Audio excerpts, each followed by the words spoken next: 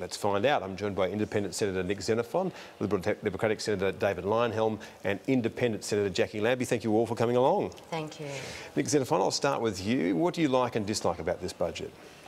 Well, I think the government has retreated from some of their harsher measures. Um, I like the small business concessions. I think that will be good in terms of uh, jobs growth. I think it will, small business is an engine driver of economic growth.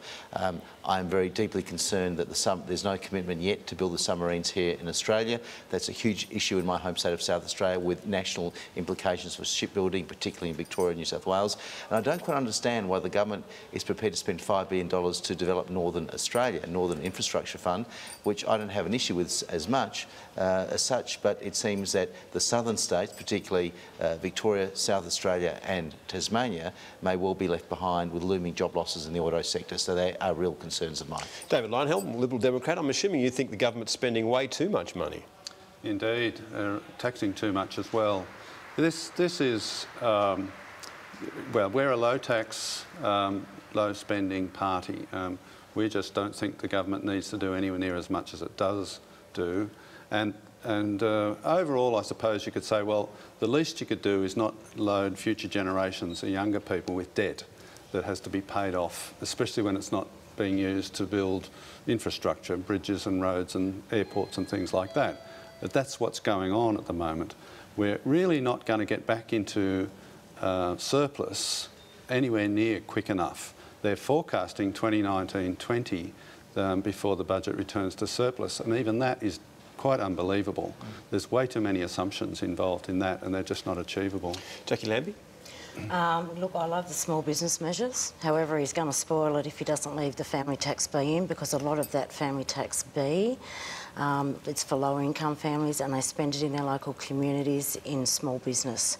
So I think that uh, unless he leaves that family tax B in there, uh, there's going to be a problem with that. I didn't see anything on higher education. Uh, so that uh, I found that quite daunting.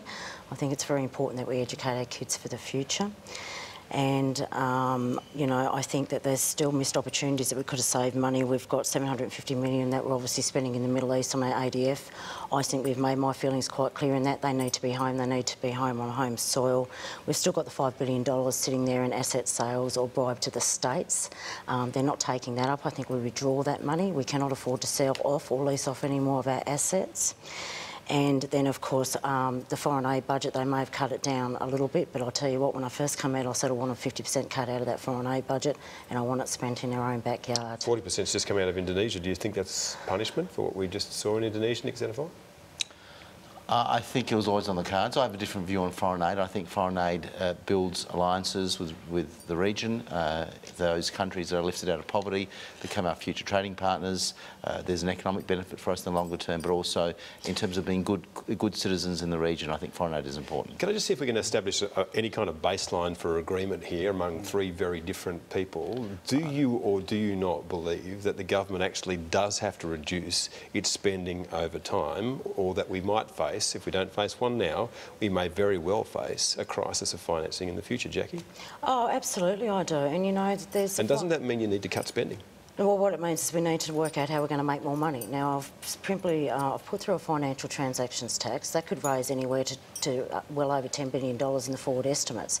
Except trying to get the Liberal Party to sit down and talk to me about that, that's the problem. We're still having communication problems, so I think that's that's one of the worst things. So your answer is to raise spending, not cut, not make any cuts. Uh, I don't think raise taxes. I should not, not make any spending cuts. Yeah, I think we raise some taxes, but right now people out there they're doing it tough, and uh, still they're still coming after the low income earner. And like I said, I'm still worried about our higher education. That's just completely been le been left off the um, table, and I'm really concerned about those and areas. yet, gentlemen, our welfare bill is, bill is 35% of the budget and will grow by 16% over the next we, three years. Is we, that sustainable? No, it's not. And, and, we will be more in debt now than we've been since the, these budget figures started being kept since 1970, with the exception of Keating's last year. Um, so uh, the Howard government inherited a significant debt, paid it off with Costello as the treasurer. Um, we're, we're now back to that situation where just as bad as we are there now. And what we don't have now is the equivalent of a Costello to pay it back. So we have got a, a growing, significant debt problem. And um, I, dis- I disagree with Jacqui in that I don't think it's a revenue problem, it's a spending problem. But the, can I also point out that we won't return to surplus um, uh, unless the government allows bracket creep to, to creep up the tax revenue. The, I've read the budget papers. The only way we will return to surplus under the scenario that's in the budget papers is by leaving the income tax alone. So can I just say, one thing I think we, we probably do agree on is that the assumptions made in the budget about a return to surplus are, to paraphrase Yes Minister, courageous ones. Uh, there's no way that we'll get there. They're, they are rubbery figures. Um, I think we'd agree on that, Yes, right. And, and without being cruel, cruel to Joe Hockey, this is an improvement on last year's budget from my point of view, but it's still a case of close but no cigar. Uh, it really is a case where this, this budget uh, doesn't tackle some of the fundamental issues. There is an existential crisis in the West ageing populations, uh, reduced revenue. We need to be smarter. We need to reinvent government. How do you deliver more with less, in a sense? But also the iron ore prices. Uh, last week I spoke to Andrew Forrest. I think he's got something, uh, something in it in what he said about uh, whether the iron ore price has been forced down as a result uh, of, uh, of market behaviour. That's why I'm pushing for a Senate inquiry on that whole issue. Okay, so surely the government's going to come to you and ask you about the package that you've just seen tonight. There are really just two elements of it. One is a, a a business package and a jobs package. The other one is the childcare package. But Jacqui Lambie, to get that childcare package through, they'll say, well, you've got to give us some money, and that money comes by way of cutting family tax benefit Part B. Yeah, no, that's rubbish, and um, it's like um, I, I just think that that's absolute rubbish. But I just wanted to pick up a point what you said about Howard there. The reason that they were able to bring um, the surplus back to a surplus when Howard was in was because he sold nearly $50 billion worth of Australian assets. We've got hardly anything left to sell.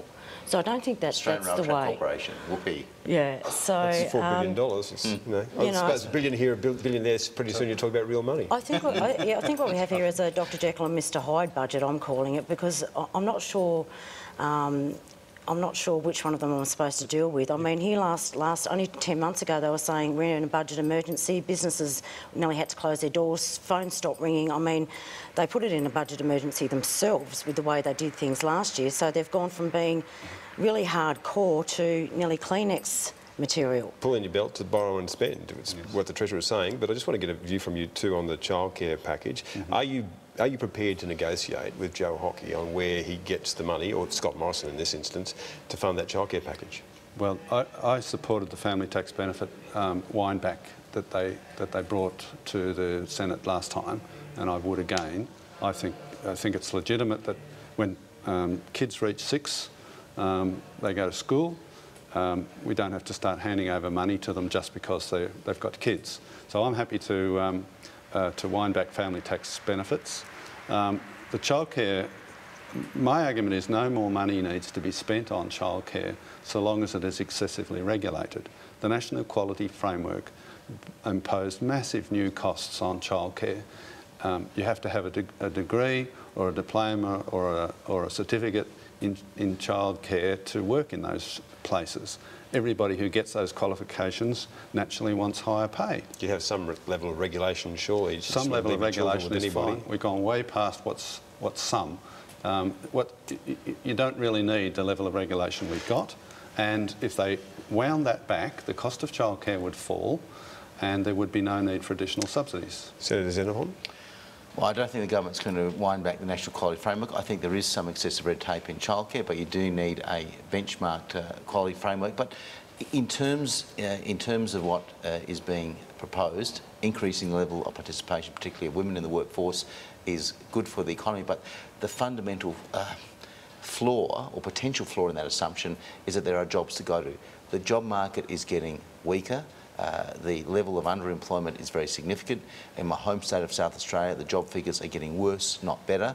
Uh, they will get much worse, particularly in the southern states, with the demise of the auto manufacturing sector and the flow-on effects of tens of thousands of jobs, unless there is action to ensure that there are alternative jobs to, for people to go through. So I, I think the assumptions are, are, are just a bit rubbery, particularly on a 5% unemployment figure. Sure. Can I just add though that the productivity, I'm, I'm sympathetic to Nick's idea, so we're looking for common ground here, but um, I'm somewhat sympathetic to the idea of getting uh, low uh, income um, people back into the workforce, women with children, um, and if childcare is going to do it, I am, you know, in principle have some sympathy for that idea. But the Productivity Commission said there's very few people that would actually return in reality uh, return to the workforce. They right, said productivity 16,000. 16,000. The government's got a whole lot more than that. You want to see some more figuring on that, don't you? We need to see the modelling, and, and, and you know, as far, as common ground goes, I think we all uh, pretty much agree that the figures are pretty rubbery. We need to see the modelling. Look, I think, and I don't know what my, uh, my colleagues think, I I think the government is leaving their options open to have an election by the end of this year. This, this budget has enough sweeteners in it uh, to, to allow them to go to the polls if they need to. Well, we'll know they're serious about that if they change the electoral laws to make it more difficult for people like you to be elected. Yeah, and I think people need to understand that the proof of a hung Senate is, um, you know, it's about consultation and, and we haven't caused chaos. We've actually been able to save, we've protected pensioners and students. Um, you know, we've, we've done um, families and the unemployed from an unfair liberal cuts, which would have put the country in chaos by now had those cuts been taken last year. So I, I guess that's their, their whole flip because they've done a whole backflip on this. Like I said, they went, they come out really hard. They've softened their approach right up, but I think they still haven't got it right. And, and with childcare, I'm a big believer when it comes to kids, the earlier children um, are as, uh, associating with other children and they're, they're in school and um, that is built inbuilt with them and mothers can go out and either go back to school or go back um, Okay. to find jobs, then I think we should encourage that and we shouldn't, you know, you should never put a price on that.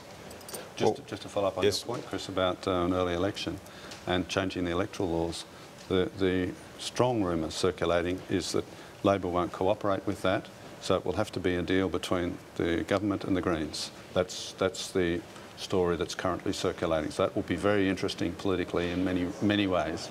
We'll prosecute and find it out. David Leyonhjelm, Nick Xenophon, Jacqui Lambie, thank you very much for being Thanks along for this evening. us on. Okay. We'll have more.